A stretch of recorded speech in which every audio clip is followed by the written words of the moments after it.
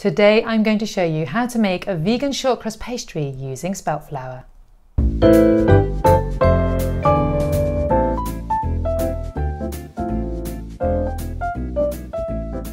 Short crust pastry can be used for so many wonderful recipes. I use it for both sweet and savoury dishes.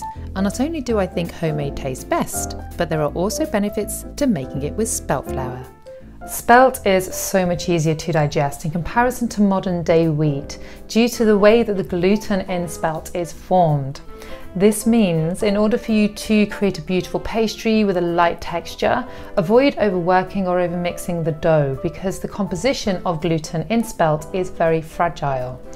That said, it's the fragility of the gluten that makes it easier to digest, so you're less likely to feel uncomfortable or bloated after eating. Now this recipe on average yields about 540 grams, sometimes a little bit more, and it's really easy and it's quick to show you how.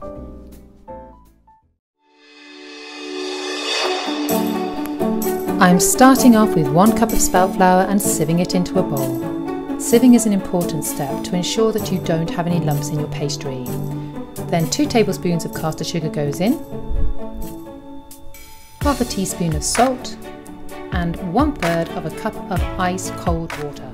Okay, so ice cold water is best for making this pastry as the temperature of the water really affects the, the overall texture.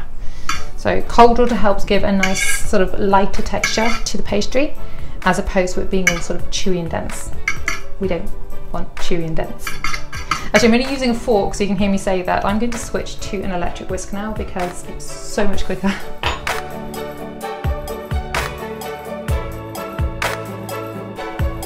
Add one quarter of a cup of soft but not melted coconut oil. Mix all that together.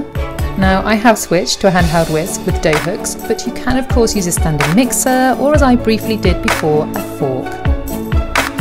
One third of a cup of ice cold water goes in again and then continue to mix. Add another cup of spelt flour through the sieve. This is a repetitive process, but I find this is the best way to achieve a lump-free pastry. Mix it up again.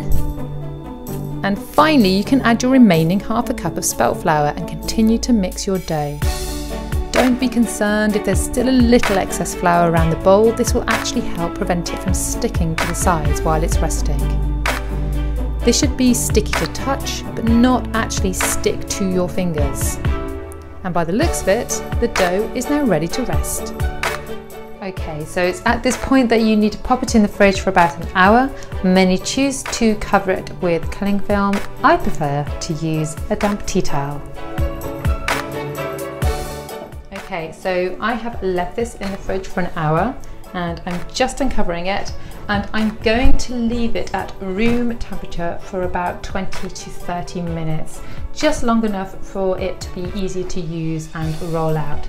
However, you can leave this in the fridge for up to three days, or you can even pop it into the freezer if you don't wish to use it immediately.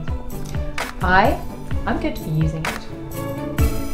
So that's how I make it. It might not look tasty right now, but in my upcoming video, I will be showing you some truly delicious recipes using short crust pastry. Thanks for watching.